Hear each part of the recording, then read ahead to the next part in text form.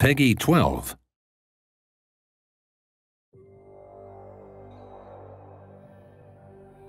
Okay, so after the release of X Rebirth, we are listening to feedback and try to add those features first that are requested by most people and which are possible to add fast. So in today's video I try to explain some of the things added between patch 122 and 125, which comes out this week.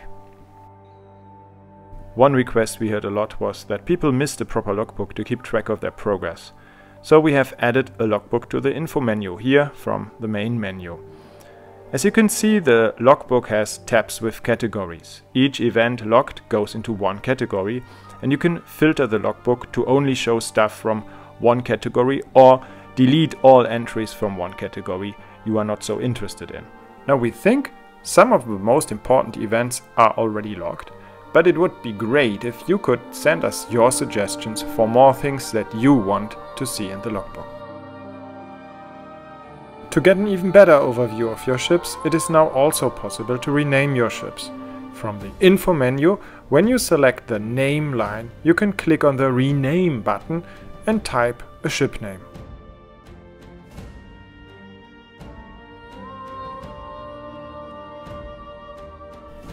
Now a quick run through the changes around trading. Let's start with a little thing.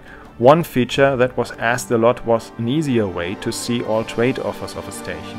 So you now have this new offer button below the station info menu, which brings you to a filtered view of the trade menu that only shows the offers of this particular station. This next thing is not new, but I think it was overlooked a lot. A very good investment for traders is definitely the Trade Computer software extension, available from all mechanics. Once you have this installed, instead of collecting each trade offer, you will immediately have all current trade offers of a station added to your trade computer memory for as long as the offers are valid. So this can save you a lot of exploration time um, flying around stations if you want to focus just on trading. The reason I showed the Trade Computer extension is that there is a closely related new feature in patch 125 which we called Agents. We have redesigned the small talk inside stations a little bit. People were complaining that this part of the gameplay was too repetitive. So what we changed is that once you played this small talk minigame successfully, instead of getting a random reward, you can now ask for the reward you want. This is especially useful if you want to find certain NPCs or need a very specific discount on a ware. You are no longer forced to play the game many times, but get the reward you want directly. And one new reward in this game is now the trade agent I mentioned before.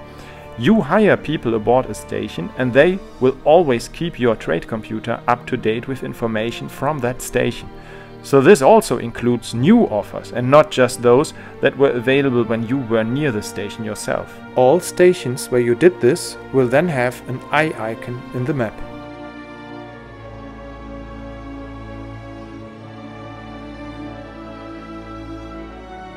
So these were two ways to collect trade offers more quickly. And with this, it should not require a lot of time to have quite a good overview of what wares are available around you or even across a larger area. The last feature I'm going to show in this video is a new method of locking targets. Many of you stated that you wanted the X3 style explicit target locking with the keyboard back. So you will now have remappable buttons that work a lot like the old T and E buttons in older X games. By default, this is now mapped to Shift F for all neutral ships and Shift E for enemy ships only.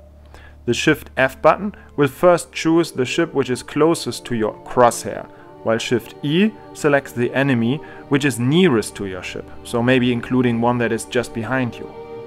I think it is especially this ability to lock on enemy ships quickly even if you don't have them on screen that people wanted mostly. Together with these two new buttons also comes the ability to switch through all ships of the same type with page up and page down. There is a lot more we are working on and I'm going to post a list of some of our current work on the forums today.